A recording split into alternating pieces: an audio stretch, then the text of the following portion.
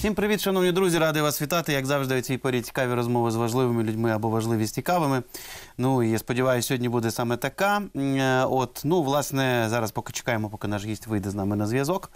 Е, От, ну а поки ми е, поговоримо про ті цікаві речі, які сьогодні відбуваються. Ну, от хотілося б звернути увагу вас, шановні глядачі і слухачі. От все-таки от момент, коли мені здається, іноді ми знаходимося досі в полоні. Е, Ну, якщо не російських е, засобів масової дезінформації, то в усякому разі не вміємо іноді побачити головне, е, натомість дивимося на якісь непотрібні речі. Що я маю на увазі?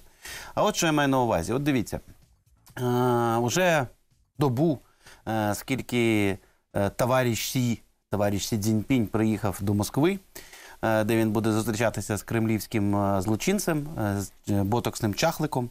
Е, Путіним, і там уже по. Хоча, до речі, зверну вашу увагу, що е, реальні переговори, ну тобто прямі переговори, от, от те, що от, власне де будуть якісь там рішення прийматися, підписуватися, якісь там угоди, якісь документи і все решта, воно насправді е, от тільки сьогодні все починається.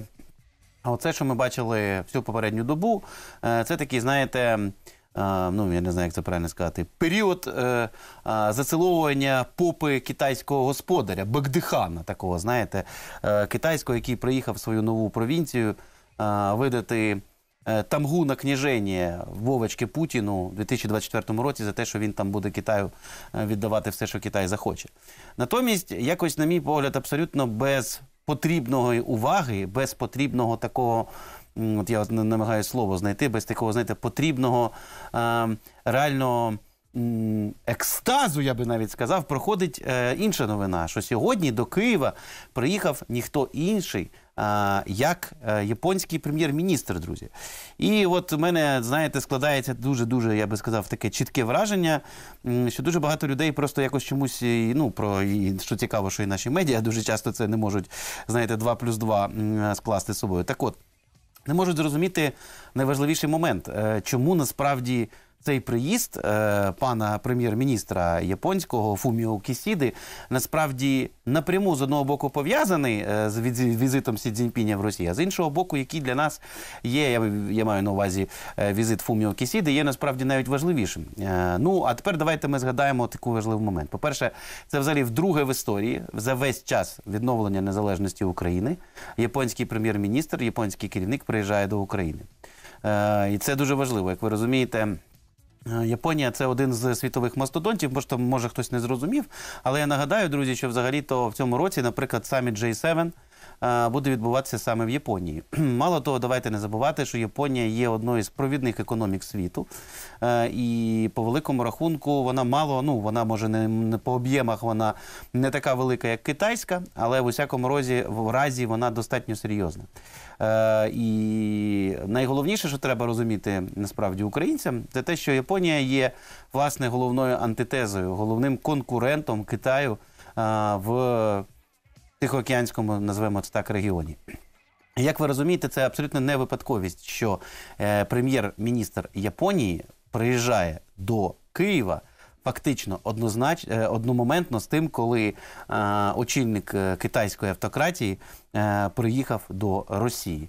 І як ви розумієте, це абсолютно не випадковий збіг обставин. А тепер давайте подумаємо про те, чому це так важливо, е, і чому знову ж таки, з моєї точки зору, абсолютно неправильно і несправедливо е, випускають з поля зору цей момент. Отже, про що йде мова, друзі? Дивіться. Значить, е, напевно, е, ну, по-перше, я нагадаю, да, ви ж е, пам'ятаєте, да, що е, Японія у нас в цьому році е, насправді е, е, очі.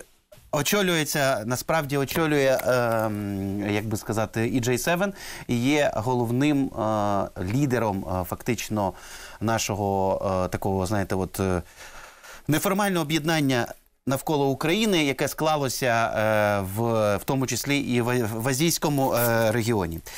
Тепер важливий момент ще от чому полягає. Дивіться, в те, що я сказав, що в травні в Хіросімі тобто в самій Японії, е, відбудеться саміт Великої Сімки.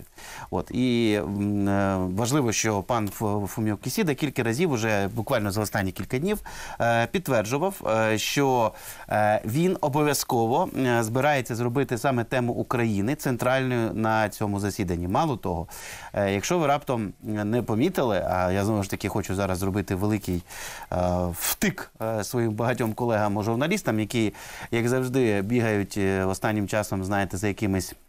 Хлопавками, натомість е, там знаєте, вимірюють, хто там де сидів, хто шири ноги роздвинув Си Цзіньпінь, і як у Путіна танцювальні ноги, да?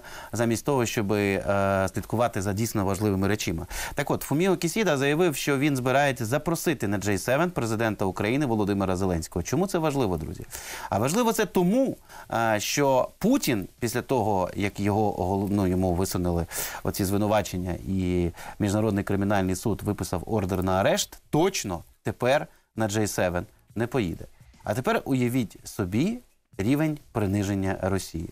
Знову ж таки, ви ж розумієте, що одномоментно з тим, коли приїжджає Сі Цзіньпінь в Москву, який намагається, е, як правильно сказали американці, в певному сенсі легітимізувати російські злочини, легітимізувати е, російського президента-злочинця в цей момент одразу головний конкурент Китаю, Японія, відправляє свого головного, так би мовити, головну людину, яка приїжджає в Україну і навпаки говорить про те, що вона буде запрошувати президента України. Ви розумієте, що це не випадковість. Ідемо далі, друзі. Дуже важливий момент, дивіться. А, ну, що таке G7? Е, Там, понятно, в основному ті країни, які в Європі, там і так далі, Канада і так далі. Але на цей саміт, і це вже відомо, японці е, запросили Індію, Бразилію, Індонезію і В'єтнам. Як ви розумієте, це теж всі достатньо великі країни. З достатньо великою економікою. І е, нагадаю, що взагалі-то вони у нас типу нейтральні в нашому конфлікті. І вони, е, як би сказати, м, ну, якщо комусь здається, що їх позиція не важлива, то я вам просто раджу нагада... просто згадати, що левова частка російської нафти зараз іде в Індію. А, і дуже важлива буде позиція цих країн. Ну, а наприклад, е, та ж Індія е, чи В'єтнам е, це дві країни, до речі, нагадаю, які мають невирішені прямо на даний момент великі територіальні спори з Китаєм. Причому ну, В'єтнам це була взагалі країна, з якою останні, з яким останній раз воював Китай в 79-му році, до речі, програв ту війну. От, відповідно, їх позиція є вкрай важливою. І як ви розумієте, японський прем'єр-міністр не просто так е, знову ж таки приїхав зараз саме зараз обговорювати всі ці речі з президентом України Володимиром Зеленським. Е, далі, е, ну ви маєте, друзі, розуміти, і це нарешті мають зрозуміти, до речі, і в українській владі, що взагалі-то, звичайно, наша війна зараз в центрі уваги і так далі. Але також сталося, що напевно, якщо не дай Бог, нас очікує наступна світова війна, то кілька її територіальних, скажімо так, точок, де вона може розгортатися, вона все-таки, скоріш за все, буде в Тихоокеанському регіоні. Ну, а, я нагадаю, що там є невирішені конфлікти Індії і Пакистану. Там є невирішені конфлікти Індії і Китаю. Е, Там є невирішені конфлікти Китаю, де по суті з усіма абсолютно своїми сусідами. Всі сусіди Китаю мають з ним проблеми, і до всіх цих сусідів Китай має територіальні претензії. От. Ну, Китай, В'єтнам, наприклад, досі не вирішили статус там так званих Парацельських островів, які дозволяють дуже непогано контролювати вихід там особливо південних китайських портів. От е, відповідно тут є велике питання, як вся ця історія буде відбуватися.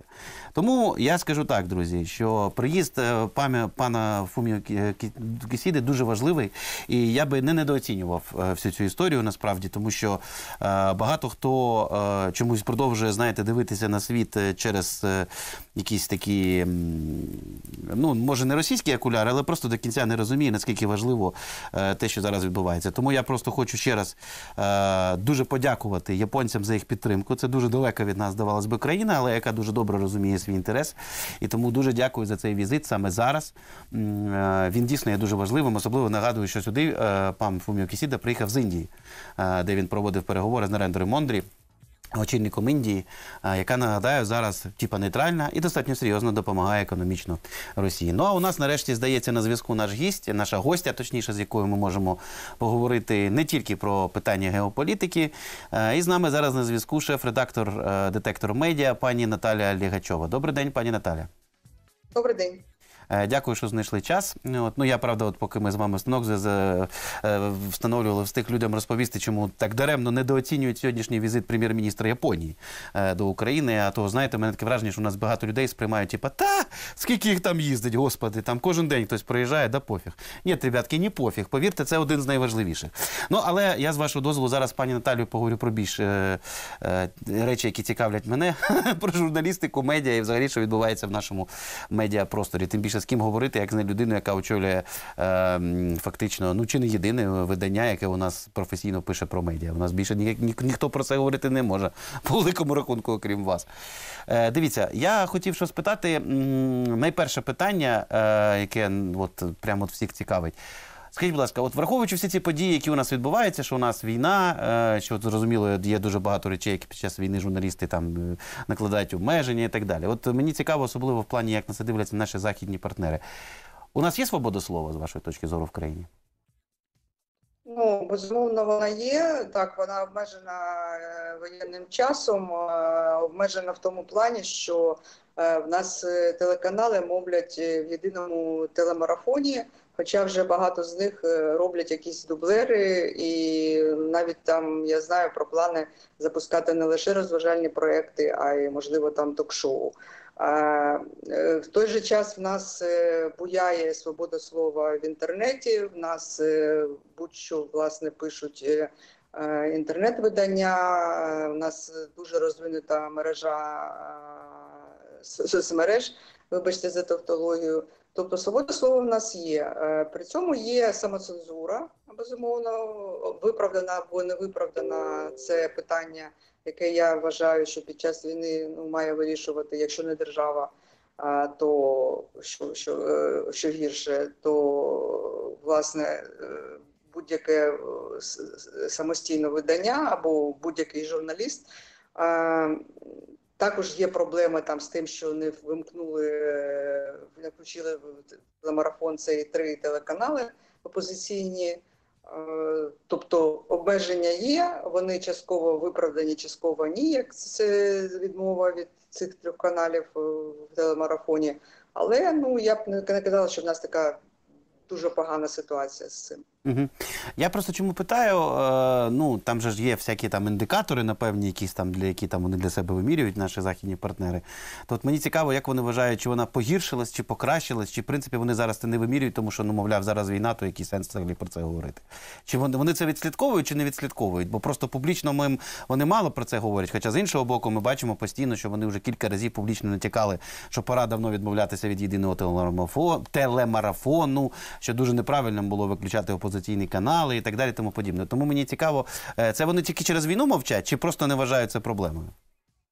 Ні, ну вони вимірюють, репортери вимірювали, і там у нас е, невелика, я зараз не пам'ятаю наскільки там погіршилась чи покращилася, але ж вони ще е, Україну вважають е, Україною безумовно ну, вважають території ті, які зараз окуповані Росією, і це е, ну, викривлює власне ситуацію. Е, щодо західних партнерів, ну власне вони е, навіть у стані війни вони кажуть і про телемарафон, так і експерти. Я вважаю, що його треба вже припиняти. Вони про це давно кажуть. Вони теж кажуть, що е, дуже багато в нас з'являється державних мовників, і наскільки мені відомо, е, незабаром з'явиться ще один державний мовник. Це Е, вони Це хто, пані е, Наталі, якщо не секрет? Ну, я зараз, ну я думаю, що армія ЄФМ може А. отримати ліцензію. А, але це таки ще ну, неофіційна інформація.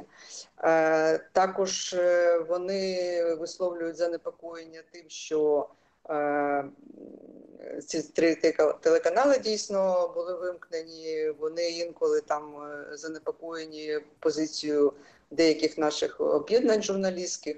Але ну, якщо порівнювати будь-яку країну у стані війни, то я б все рівно казала, що це все ж таки те, що можна перебороти. Ну зараз ми там е, медіарух заявляє про невиправдані обмеження для військових воєнкорів, Так, так, військових так. журналістів, так на е, територіях прифронтових і фронтових. Тобто ми весь час боремося да, за свободу слова і з нинішньою владою. Але навіть те, що ми можемо про це відкрито говорити і обговорювати, до речі, з владою, вона на нас не, завжди слухає. Це теж е, треба зазначати. Ну це вже добре. Тобто, в нас ситуація не трагічна. Да? Е, вона рухається, вона не ідеальна, але це все в стані дискусії, як власне взагалі наше суспільство весь час перебуває у стані е, вибору між зрадою і перемогою. Да? Так, так, і, так і наші медіа. Просто розумієте, я от мені ваша тим більше точка зору цікава, тому що ви людина, яка ще пам'ятає навіть часи кучми е, другого строку, напевно. Тому є чим порівнювати, скажімо так, в динаміці за останні 20 років. Е, ну, бо раніше, я думаю, нема сенсу по 90-ті роки, це ще зовсім інша реальність. Так от я до чого веду. Е, зараз багато, ну, в принципі, якщо розібрати, зрозуміло, що головним чинником є війна, і тут е, це очевидно. Але знову ж таки, зараз не березень 2022-го, зараз березень 2023 року.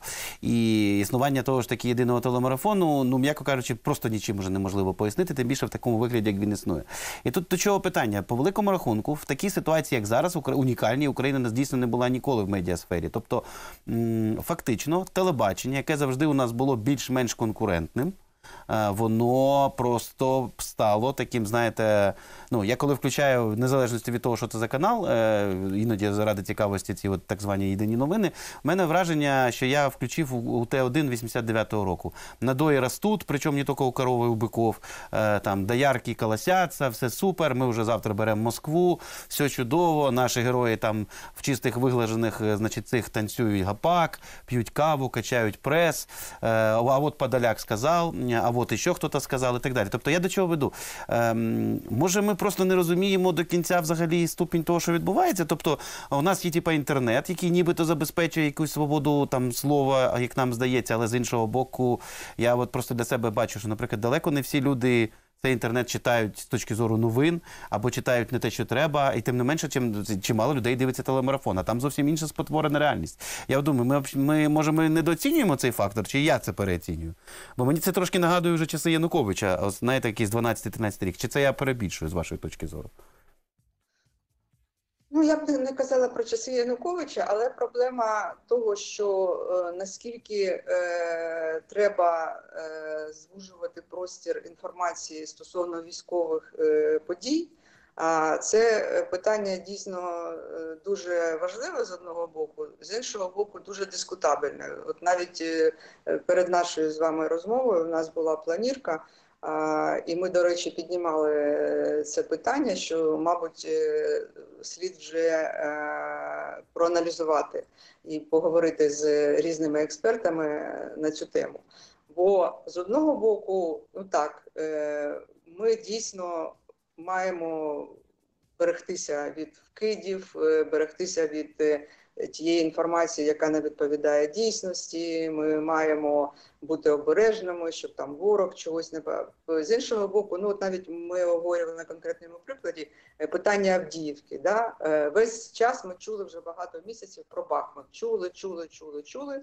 Раптом опа. І в інформаційному просторі з'являється Авдіївка, і вже кажуть е, там британська розвідка, що вона е, там з, трьох е, боків е, оточення українського угруповання може бути, і що власне Авдіївка е, чи не може впасти е, до Бахмуту. Ну я вже там перебільшую можливо.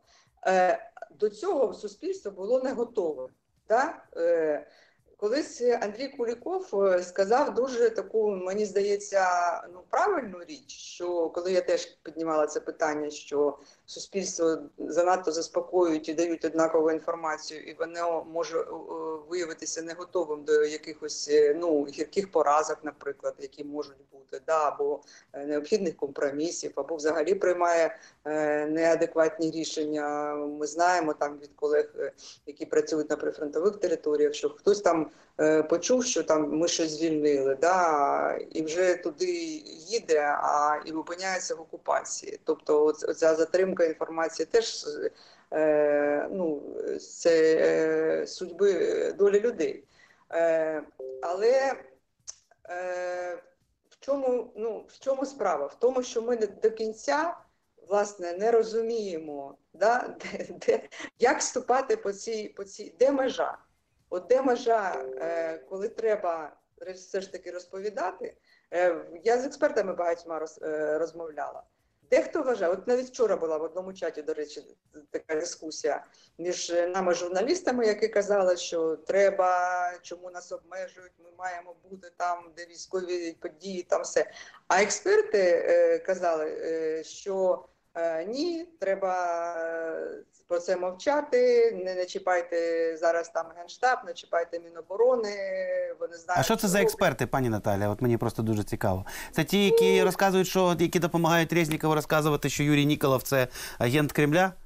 Ні, Е. ні, ні. Це, це якраз е, ну, адекватні експерти, яким я довіряю. Я не можу казати прізвище, Звичайно. я не в них е, е, дозволу на це, але і це в такому чаті ну, приватному. Е, але е, я підкрив, ну, тобто, моя особиста думка, коротше, що треба розширювати рамки зараз інформації, що не треба давати тільки заспокійливу інформацію, а треба все ж таки е, показувати і реальний стан речей. Так, не е, весь ми розуміємо, що не можна під час війни про все розповідати, да? але Звичайно. Все ж таки заколисувати лише перемогами це теж дуже небезпечно, бо суспільство буде не готове до е, якоїсь адекватної е, реакції на е, якісь події, які можуть відбуватися. Тобто, це може е, бумерангом відгукнутися. Це, це правда. Ну і тому я теж вважаю, що марафон вже е, вичерпав себе. Все ж таки, якби були різні телеканали, то ми бачимо, що ну навіть ті телеканали, які не увійшли у марафон, вони дають ну іншу інформацію. Я можу погоджуватися з нею або не погоджуватися з тим, як на чому вони акцентують. Да? Але все ж таки це вже якийсь плюралізм, і глядач може вибирати для себе. Хоча це теж є, бо інколи вони теж перебирають у критиці влади. Звичайно. Я теж вважаю, що це теж я вважаю, що коли є е, війна з е, зовнішнім ворогом, то мочити владу принаймні не, не- можна. да? Сто відсотків з вами погоджуюсь. Але давайте ми задаємо знову ж таки приклад Ізраїлю, де навіть під час війни судного дня ніхто не закривав рот опозиційному телебаченню. Це теж важливий момент. Е, Я звичайно з вами погоджуюсь, але знову ж таки, от ми там всі любимо про Черчилля згадувати. Ну от у Другій світовій війні, під час там бомбардувань Лондона, коли е, доля Британії висіла на волоску, ніхто не думав не давати лейбористам, наприклад, які тоді були в опозиції, доступ до BBC. Розумієте? А зараз, коли ми бачимо канал, який називається Суспільне, ну, чесно кажучи, от до речі, да, хотів вас спитати про долю Суспільного. Бо знаєте, я коли включаю українське радіо, яке є насправді, я так думаю, по покриттю зараз, а особливо враховуючи, що воно мовить на окупованій території, це, напевно, ну, найбільше українське медіа. Е, і воно просто тупо ретранслює телебачення. Це взагалі як? Це нормально. Ну тобто канал, який є стратегічним, тобто з точки зору донесення важливих меседжів і так далі. Я просто, вибачте, про простий момент, коли я знаю, на- у нас тут в Києві е, купа людей е, не могли по українському радіо на початку війни послухати, як їм евакуюватися, що робити. Наприклад, тут я вже, вибачте, трошки своє Київ ФМ попіарю. Ми хоча б в даному сенсі, хоча б людям щось пояснили. А вони ретранслювали єдиний телемарафон. Повторюю, радіо, яке є стратегічним яке має мовити в будь-якому вигляді. Я просто не розумію, от як це можна, як, як це взагалі працює? Чому про це мовчать західні партнери, які давали гроші на суспільне? Ну тобто, це як взагалі? От я тут особливо вашу точку зору хотів дізнатися. Ну, е, партнери не мовчать стосовно саме марафону, але все розуміють, що наша українська влада зараз не піде на те, щоб е, скасовувати марафон. А для суспільного мовника важливо е, брати участь у, у тому, що все ж таки е, є діалогом з владою, бо тоді воно залишиться без інформації. Але я абсолютно згодна з вашою критикою, що дійсно з нашим марафоном, особливо в перші там дні, коли це начебто було е, виправдано, був єдиний голос, але цей єдиний голос дійсно не розповідав про речі, які е, дуже хвилювали е, саме людей, і саме які потрапили раптом в окупацію, вони не могли е, дізнатися, а що ж відбуває, відбувається в країні. І про це кажуть. І е, я знаю, що ну, е, суспільне виходить з того, що воно з цієї ситуації тим, що воно зробило власний марафон Суспільне регіони, так і є суспільна культура. Тобто ці канали не входять до єдиного марафону, і там можна е, почути якусь іншу інформацію. Але ну це проблема. е, Це проблема. Ми її визнаємо, ми її е, розуміємо. Е, водночас, яким чином її зрушити з місця, я так розумію, що немає ні в кого якогось рішення. Бо А- вийти з марафону суспільне А чому не Е, відпустити суспільне, пані Наталі? От я просто та так для, для ідей. Чому тобто, окей, фіг з вами. Ви хочете олігархічні канали, щоб з вами працювали разом і на вас не, на не гавкали. Ну фіг з вами. Чому суспільне не дозволити як суспільному мовнику окремому, який фінансується державним бюджетом, мовити окремо? В чому проблема? Тому, ну по-перше, наскільки мені відомо, це було бажання суспільного увійти в марафон. А, я Одразу не, не, не, не навіть не покликали, до речі. І я думаю, що ну треба питати у керівництва суспільного, чому воно вважає, що все ж таки плюси перебування у телемарафоні е, перекривають ті мінуси, очевидні, які є. Думаю, що тут е, краще вже запитати в них, бо ну, Без питань. Згоден з вами. Ну я спитаю обов'язково. Просто вибачте, мені, як людині, яка три роки віддала цьому суспільному, коли я дивлюся на таке суспільне, мені дуже соромно, що я три роки свого життя піарив всю цю історію, просував як міг. Тому що в момент найбільших викликів для держави, найбільших, суспільне показало, що воно просто не потрібне. На жаль. От в такому вигляді це не суспільне, це просто якась чергова. М, Незрозум... Я, от, чесно кажучи, навіть не розумію, для чого на це виділяти гроші державні. Ну, це моя особиста точка зору, не більше того. Але мені соромно, коли от я, вибачте, я постійно буду повторювати, порівнювати з BBC часів. Е... ем, Вибачте, коли там в найбільші бомбардування Лондона, тим не менше там люди залишалися на посту, провели прямі трансляції, говорили, і так і причому з опозиційними політиками і так далі. Ну а у нас я, я, я не знаю, просто мене колись там, коли вчили журналістиці, казали, що ну що радіо просто ретранслювало телебачення. Це найбільш сороміцька історія, яка може статися з радіостанцією. Тому ну це так, моя особисті не більше того, моя особиста точка зору. І от ще одне питання, яке дуже цікаво було би з вами обговорити, це новий закон про медіа, який починає діяти з 1 квітня. Розкажіть, будь ласка, якісь найважливіші новели, на які варто звернути увагу. Е, Всі бояться там посилення функцій Нацради і так далі. Коротше, ну от якісь речі, які треба розуміти і журналістам, і особливо там не знаю людям, які просто цікавляться, як працює медіасфера. Що змінюється, що найважливіше? Прошу. Ну, найважливіше, мабуть, те, що е, е, так поширюється регулювання е, повноваження Нацради. Вона тепер буде регулювати не лише телевізійні та радіокампанії, а й е, паперові і онлайн е, видання. І водночас е, все ж таки відстояли і спільнота, медіаспільнота, і е, західні експерти. Е, Ці е, поширення е, не будуть аж такими суворими, е, повноваження не будуть аж такими страшними і суворими, як були. Бо, наприклад, там ну, блогерів вони не, не, не можуть е, е, регулювати. Вони е, можуть регулювати лише е, е, тільки е, зареєстровані е, онлайн-медіа. А якщо не, не зареєстровані, то там ну, можуть бути приписи, але е, це е, за дуже такі вже важкі е, е, порушення. Ну, тобто такого суворого е, регулювання онлайну, е, який був на початкових версіях е, закону про медіа, е, його в, остаточній версії немає. Е, Чого не досягли, це того врівноваження повноважень Нацради.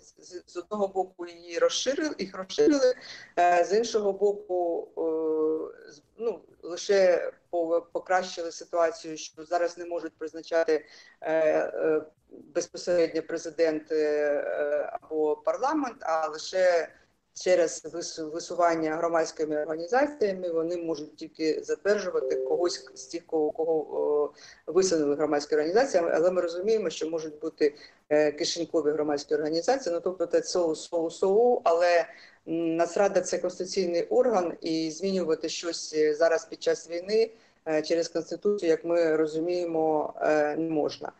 Е, Це що стосується, ну, власне, перш за все, журналістів і що, що, що їх лякало. Добре, те, що більше уваги буде приділятися е, прозорості медіа, тобто зараз е, треба буде Нацрада зобов'язана буде стежити за тим, е, щоб е, були зазначені всі е, особи, хто контролює і афільована з, ними також.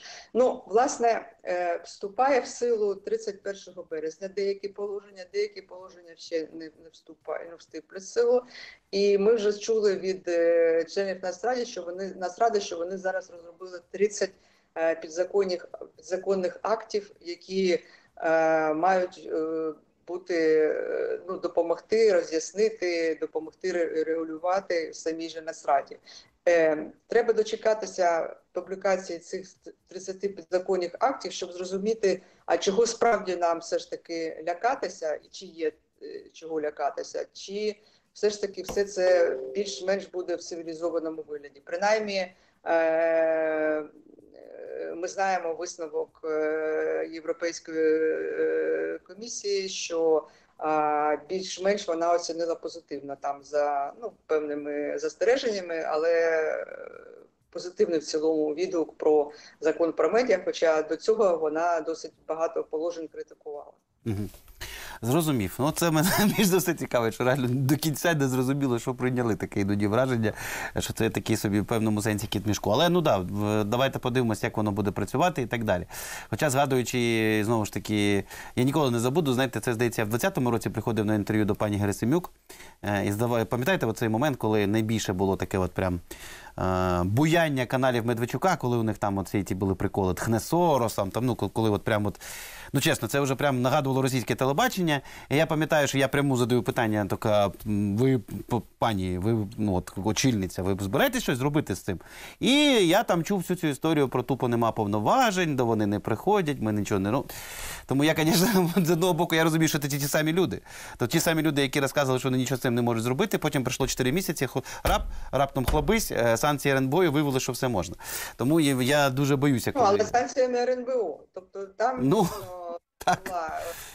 Наскільки я знаю, вже була політична воля в якийсь період е, у Нацради щось робити з цими телеканалами, але вони дійсно за законом е, мали перепройти через велику кількість процедур. Ті оскаржували канали, знову суд повертав і таке інше. І тільки рішенням, тобто, е, коли з'явилася політична воля, то вирішили це питання дійсно дуже швидко, але через санкції РНБО. Зараз у Нацради буде е, ну, дещо більше повноважень там е, щодо приписів, щодо штрафів і таке інше. Подивимось, дуже багато дійсно буде залежати від того, як це буде використовувати. І це ще одна проблема, яка була за будь-якої влади. В нас завжди Нацрада це вона пропрезидентська. Ну так воно вибудовано. Ну, да, на жаль, так. так. Тобто, ось тут буде вже залежати а від політичної волі е, президента і його гілки влади, б від е, того, яким чином цю політичну волю будуть балансувати або виконувати під е, е, брати там е, під козирьок, як то кажуть, е, члени Нацради. Чи будуть вони забаганки всі? І, і будуть чи будуть ці забаганки, якісь е, там не, дуже прийнятні для суспільства. Тобто дуже багато буде залежить, е, залежати від е, того, яким чином саме е, члени Нацради будуть виконувати свої повноваження, і на боці чого вони будуть суспільного інтересу чи інтересів інтересу влади. Зрозумів. Добре, ще одна тема хочу встигнути зачепити. Це звичайна тема інтернету, онлайн і всього решта, що там відбувається. Тим більше, що згідно опитувань згідно досліджень, які власне ви на детекторі там роз, багато розміщуєте, різноманітні. Ем, ну, дійсно, у нас відбулося. От, до речі, цікава ваша оцінка. Чи можна говорити про те, що може ми взагалі зря паримось з приводу цього телемарафону, тому що по великому рахунку люди вже сидять в Телеграмі, а це вже інше там чи Ютубі. Е, і Телеграм це взагалі просто паніка, тому що ну, хоча Ютуб теж паніка, де ми бачимо, що там різноманітні там помийки, е, в тому числі які се називають телеканалами, які паразитують, просто паразитують на хороших русських, е, яких пхають, причому неважливо, опозиційні, там не опозиційні, просто заради трафіку какого-нибудь там всіх этих псевдоекспертів, всіх тих п'янковських там і под- подібних псую. Пнуть куди завгодно. Але менше з тим, у нас є проблема телеграму, де люди на повному серйозі підписані там на анонімні телеграм-помийки е, і сприймають це як джерело інформації. І от у мене таке дуже велике питання: а що влада збирається робити з цим? Тим більше давайте не забувати, що та ж таки влада взагалі то всі ці телеграм-канали з задоволенням плодила і використовувала свого часу до війни. І от тепер ми маємо цю всю цю історію. Що з цим? Взагалі, яка ваша точка зору на от е, ті процеси, які в соцмережах відбуваються, де росіяни постійно намагаються дуже активно діяти і іноді дуже навіть успішно? Ну, це велика проблема, і власне саме тому я теж е, проти вже продовження єдиного телемарафону. Бо я вважаю, що така одноманітна і заспокійлива інформація, яка там подається, вона штовхає людей дійсно шукати інформацію в інших джерелах, і вони йдуть перш за все в інтернет, і перш за все, на жаль, Телеграм. На жаль, Телеграм став. е, е, Для більшості е, найбільш популярною соцмережею, і люди їм йому довіряють, і навіть анонімним телеграм-каналам. І в цьому провина і ну, цього телемарафону одноманітності інформації, в цьому провина нашої влади, яка теж для себе зробила вже давно телеграм-канал. Вона його е, піднесла да, ще до війни. Вона ним дуже користувалася, і в неї багато е, анонімних теж е, каналів, але ми знаємо, що модерують їх е, люди дотичні до тієї чи іншої е, гілки влади. Ну і є офіційні власне Мгм. акаунти, теж е, канали у офіційних осіб. Моя думка така, що Телеграм взагалі треба було б закрити в Україні, як це зробили там з- ВКонтакті, да, різними А як ви це Е, зробите, пані Наталя? Він же в американській юрисдикції вже швейцарській. Ви, ви його не закриєте. Формально, наскільки я навіть пам'ятаю, більше вже власні, більша половина вже в американській юрисдикції. Американці ж не закривають телеграм. На підставі чого? треба було робити. Ну, підстава в нас знайдеться. Е, Ну так, підстава знає. робити, е, коли захочуть, захочуть. Треба було це робити безумовно раніше, або е, розвивати, але це дорого коштує, так дійсно, але або розвивати власну якусь соцмережу, а не розкручувати російську, да, російський телеграм. Тобто, ну я не фахівець з приводу того, яким чином там з ним його закривати, не закривати, але це те, що велика дуже шкода, і що зараз власне практично ну, більша частина дезінформації вона саме через телеграм-канал, е, телеграм-канали е, розповсюджуються. Це ну, дійсно велика проблема, і, на жаль, е, легімітизує це і наша влада, бо вона теж весь час користується цими телеканалами, весь час звучать в марафоні, до речі, посилання на телеграм-канали і офіційні, і неофіційні. Ну, якщо телемарафон е, посилається на анонімний канал Труха. Це- Ну, А вона так. труха, пані Наталі, ви в курсі, вона Так. труха? Хаті, так. Труха. Ну, ну, ну, це як? Ну, от так. Анонімний телеграм-канал, е, на, на нього посилається державний телемарафон. Ну, тобто, А таке вже було? А, Реально, я просто пропустив, чесно. Е, е, дуже багато. Мать моя Так, жінка. Не якісь там анонімні там е, е, Боже. місцеві те- телеграм-канали, там е, е, навіть з матерними словами у назвах. І все це йде в телемарафоні, Ах. як там сказати, місцеві пабліки. О- о- Оце, до речі, е, ще одна з головних проблем е, державного ма- телемарафону. Він каже, що він перевіряє інформацію, що його можна довіряти, а насправді він дає інформацію від анонімних телеграм-каналів. До речі, от хотів вас питати ще одну штуку. Я, в принципі, всіх людей пов'язаних з медіа про це питаю. Цікава ваша точка зору. Ем, ну, тобто, є кілька моделей інформування суспільства. Ну, не, не те, що інформування, навіть комунікування в е, принципі влади з суспільством під час бойових дій. Знову ж таки, президент Зеленський дуже любить посилатися на ізраїльський досвід. Ну, так от, ізраїльський досвід є одним з найбільш таких, знаєте, прям показових. А там все дуже просто. Там будь-які коментування, особливо все, що стосується бойових дій, суворо мають право тільки конкретно визначений спікер е, від конкретного, наприклад, відомства. Тобто, ну, а ще про армію говорять тільки представники Цахалу. Все, більше ніхто. Обсмоктувати далі ви можете як завгодно, але заяви і конкретну інформацію мають право давати тільки конкретно представник Цахалу. Конкретно чітко визначений.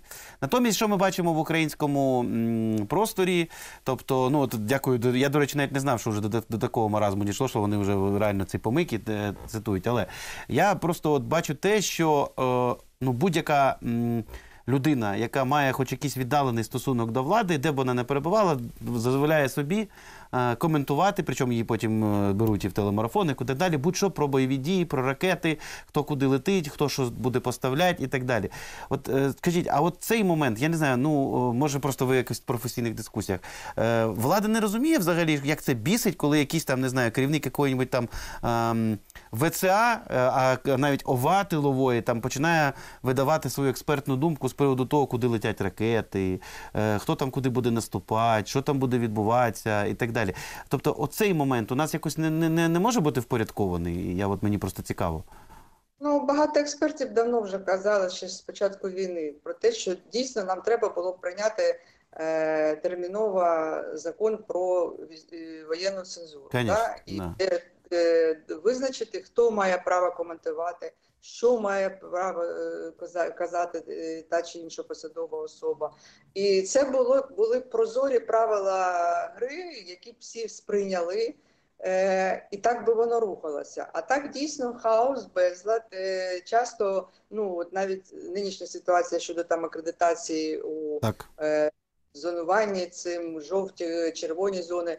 Е, ми, журналісти, зараз е, кричимо, що ні, так не можна.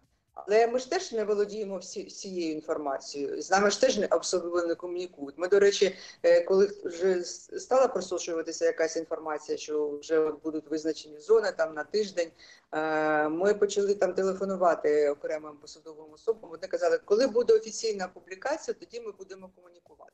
І нам здалося потім, що перевзувалося на буквально на люту, бо е, писали одразу в чатах там з воєнкурами одне, потім почали пом'якшувати щось. Ну тобто, е, оцей хаос він е, весь час е, відбувається. Навіть цей скандал з е, комбатом, да, купол, якого там Так. понизили, ну перевели там, понизили військові е, невдоволені. Е, але якби було чітке законодавство, що отой має право давати коментарі, а отой не має права давати коментарі, і кому має право, і які коментарі стосовно якої ситуації, якої зони, да? цього б цього не було. Е, Я не розумію, чому е, цього влада не зробила. До речі, суспільство це сприйняло, і журналісти всі кажуть, що вони сприйняли. Головне, що були прозорі правила гри, особливо коли це був початок війни. До Е, 100%. Мені здається, що тут є якийсь е, політичний інтерес у влади, щоб мати можливість е, ну, контролювати інформаційний простір і розповсюджувати е, ту інформацію, яка її влаштовує, але е, вона ну так на грані повідомлення фактів і е, оцінок. Да? Ну, згадаємо того ж того ж Арестовича, який був дуже популярний на, на початку війни. Ну ми ж розуміємо, що Арестович е, це був голосом влади. Да? Він не сам по собі. Потім його закрили на якийсь період. Потім його якра... е, знову випустили, але він ляпнув там пару разів щось таке, що його знову знову випхали. А, але це все. Ну зараз там.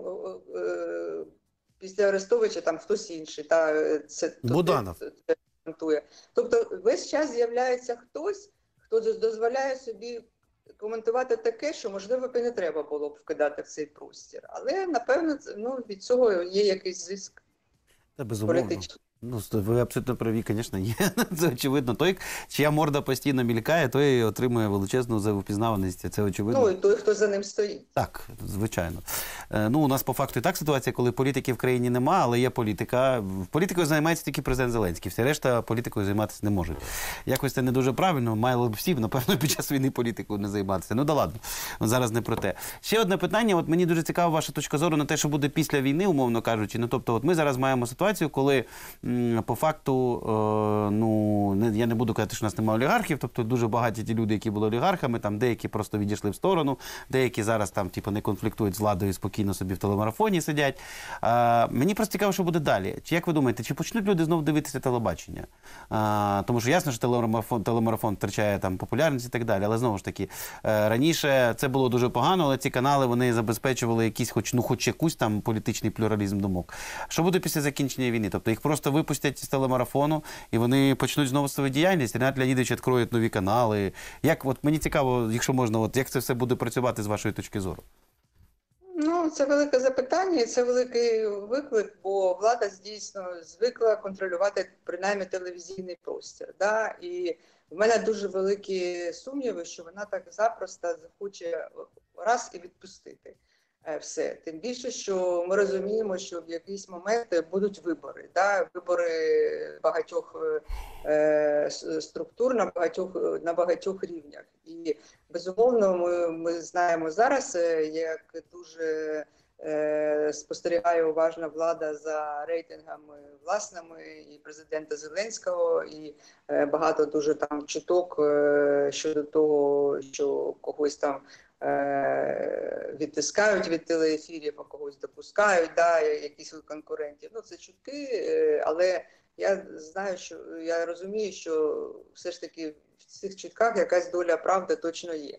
Тобто е, ми знаємо взагалі, що ця влада дуже залежна від е, того, що про неї думає е, е, як і кожна влада, але інколи ну, е, це не проявляється настільки е, сильно, навіть на психологічному рівні, як на владі, яка була до цього творчою, творчими людьми. Да? Ми ж знаємо, творчі люди дуже за- завжди емоційно сприймають будь-яку критику.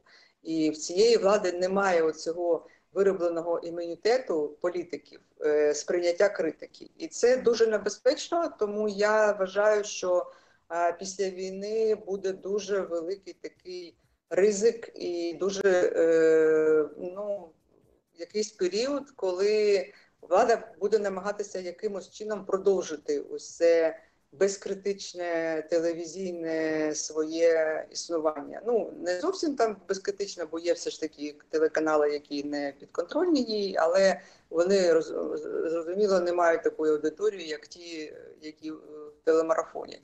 І мені здається, що це не буде відбуватися безболь, безболісно а, відпущення цих телеканалів на, на волю. Е, Більш того, зараз е, створюють багато телеканалів, там плюси, Starlight, ну, ТВ, телеканали дублери. Е, Вони безумовно це створюють перш за все, тому що в телемарафоні немає реклами, вони ніяк не можуть заробляти. А на цих телеканалах вони можуть пускати рекламу, і вона вже з'являється і з'являється якесь виробництво. А з іншого боку, я думаю, що вони будуть потім намагатися ці телеканали продовжувати робити як якусь альтернативу тому, що буде відбуватися, навіть якщо буде завершений телемарафон. Але коли він буде завершений, до речі, після е, ні- ніхто не скаже, що він е, зараз кажуть, що до кінця воєнного стану, але потім можуть сказати, що е, до проведення виборів, да, щоб щоб не пройшли російські, ну, наприклад, сили. Ну, я Ну, так, е, звісно, це да, да. да, да. А, а потім ще щось, а потім ще щось. Тобто, я думаю, що телеканали, які створюють дублери, вони дивляться не, на, на, на багато років вперед на перспективу, да? не лише до е, кінця війни. Ну, ми не знаємо, коли вона закінчиться, чи війна, але принаймні сподіваємося, що якась гаряча фаза, ну все ж таки в якійсь е, ось е, е, Ну, осяжні, да. тяжні, так. Е, ну, тобто, це буде непростий процес, і це буде велика роль тут буде грати позиція і медіаспільноти, і перш за все захід західних партнерів, бо вони зараз ну критикують телемарафон, але ви праві, що все ж таки критикують, але ну так повільно, да, не м'яко, не е, ультимативно. А от після е, закінчення гарячої принаймні фази війни. Я думаю, що буде тиск е, сильніший щодо цього, і можливо, це буде однією з умов якихось е, підтримки України. І я б це вітала, до речі.